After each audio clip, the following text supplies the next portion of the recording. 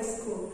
Today we are going to study about the voices. What are voices? Voices means we have to identify whether a sentence is in active voice or in passive voice. That means whether a subject is active or whether a subject is inactive or the object is active. Okay. I mean to say that whenever we are treating a subject as main, we are dealing with active voice. And whenever we are treating a subject as secondary, we are dealing with passive voice. Okay. So let's start learning about active voice and passive voice. Okay. In the passive voice, whenever we are dealing with the passive voice, we have to always use a helping verb.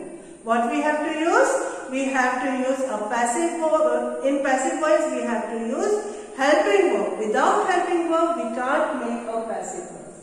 Second thing is, we have to put our subject as secondary. Okay. Subject comes in the last. Okay. Third point is, our form of the tense or the form of the verb in the passive voice is always the third form of the verb. Okay. We always have to use third form of the verb in passive voice. Okay. So let's begin with the form of tenses. Okay. First comes the simple tense beginning with the present tense. What we say in the active voice that subject plus verb first form in the condition when we are dealing plural subject and verbs first form along with s or es with object whenever we are dealing with singular subject. But in the passive voice what happens? Object comes in front. Okay. We are treating object as main along with helping verb. Which helping verb is are or am. Which helping verb is, are or am. Okay. Is with the singular subject, are with the plural subject and am with the I subject. Okay. And sorry that subject is the object. Okay. And now with the verbs third form and by subject. But now come on to the simple past. In simple past what we say? subject plus verb second form and object. And in passive voice, how it becomes? Object plus was of here plus verb third form plus by subject. Now come on to the future tense. In future tense, subject plus will or shall.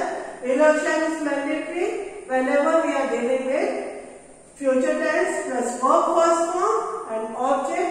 Okay. And in passive voice, what it becomes? Object plus shall plus be plus verb third form plus by subject. What change it has become?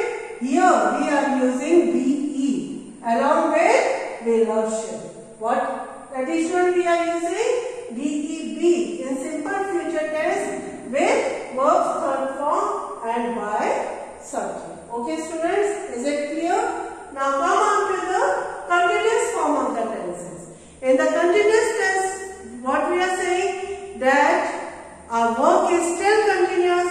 We are still continuing our work. So, it is identified by verbs ing. What, how it is identified? By verbs ing in the active voice. But in the passive voice, how it becomes?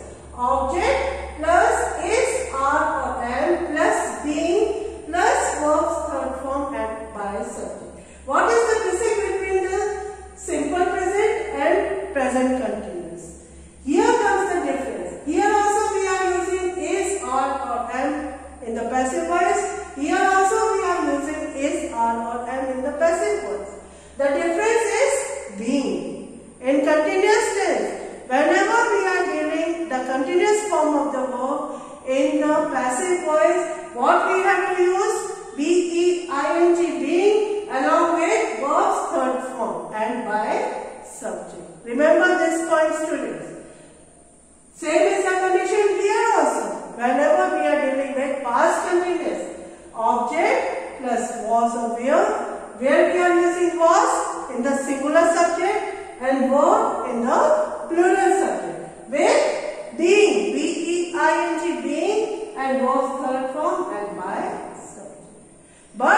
in future continuous.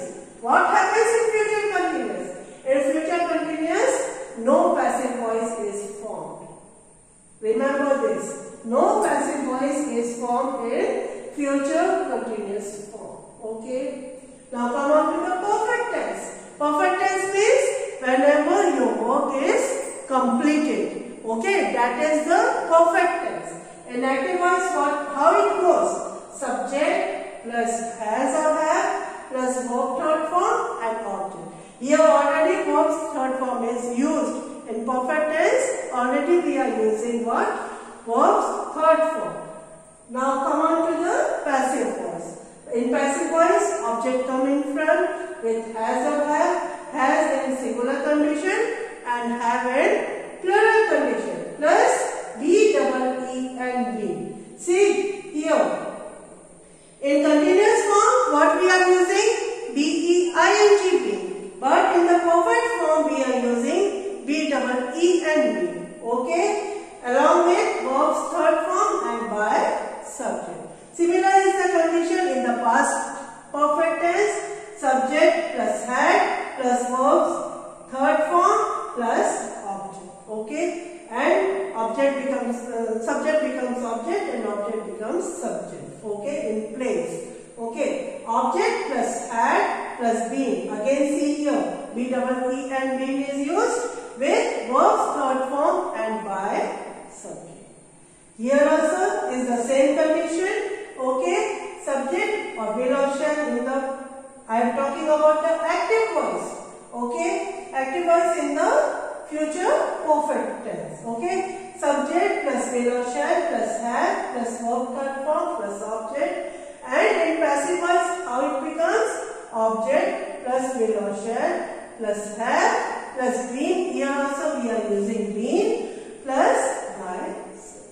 Okay students. Now come the last form that is perfect continuous. In perfect continuous form students no passive voice can be made. Okay. Remember this. In perfect continuous form no passive voice is made. So we are not studying about the perfect continuous. Now this is the condition when there is only one subject, one object in your sentence. This is the condition when there is only one object in your sentence. Whenever there is, there are two objects. Whenever there are two objects in the sentence. I have taken an example here. He is the subject. Teachers is the verb first form along with S. Object number 1 and English is the object number 2. Okay. So, how it goes in the passive voice? Two forms can be prepared in the passive voice. First, in first condition, what we are doing? O2. O2 means object number 2 plus helping verb plus verb's third form plus 2 plus object number 1. So, if we are translating this sentence only, what is object number 2? English. English is singular, so we have to put is. Then, verbs third form, teachers becomes taught. Then to, then me. Okay. According to the second form or the second pattern, what will, uh, what will be the sentence? I. Me becomes I in the subjective case. Then I am taught English by